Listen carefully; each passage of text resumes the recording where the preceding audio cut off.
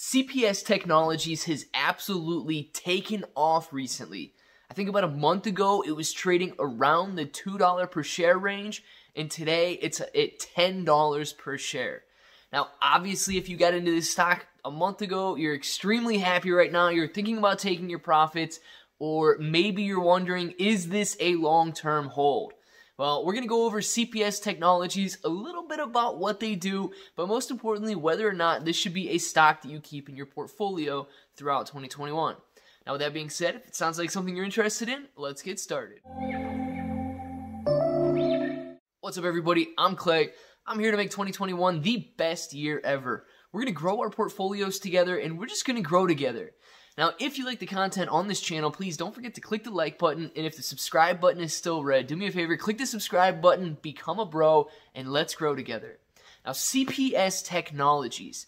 I don't understand exactly the, the technology behind their metal matrix system that they've got going on, but in a nutshell, what they do is they've perfected the way of combining ceramics and metal into making different materials for various industries.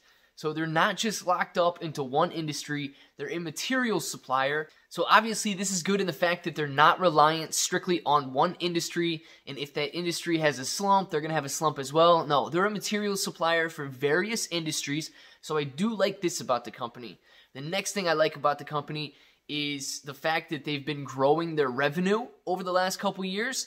I think in 2017 their revenue was somewhere around 14 million dollars and over the last 12 months, they did 22, a little bit over $22 million in sales. Now, I always like to see a company that's growing their revenue. Obviously, that means that they're, they're growing their income, and this is a good sign. But the most important sign, one of the best things that I like about this company is that they went from negative net profit to positive net profit. Yes, in the last 12 months is when they were finally able to achieve a net profit on the bottom line. Now, it's not necessary for a company to have profit at the end of the year in order to be a good investment. Obviously, there's a lot of growing uh, sectors and industries out there the energy sector, the mobile payment sector, things like that. We're going to see companies that have a negative net income at the end of the year strictly because they're so focused on growth and growing and getting that return and it, it, takes there's a lot of growing pains that come along with new industries. Now, CPS Technologies is in the positive, so this is an awesome sign, and it's making me very comfortable with this being a stock that we can hold into the future. Now, with that being said, if you already have this stock in your portfolio, if you've gone from $2 a share up to $10 a share, if you 5x your money, that's completely up to you. Do I believe that we could see another 5x increase in this stock over the year?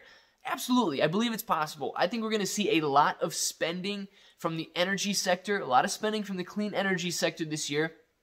And CPS Technologies is a provider for material solutions for the clean energy sector. So they could see a big boost from that and they could see their in their they could see their revenue increase as well as that bottom line. So this could be a good sign for the long term.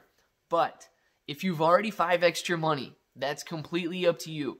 A couple things that you can do, you can put a stop loss on and allow the stock to move. Allow your allow the stock to move higher, and if it starts to pull back and move lower, you've already locked in your gains and you're good to go there.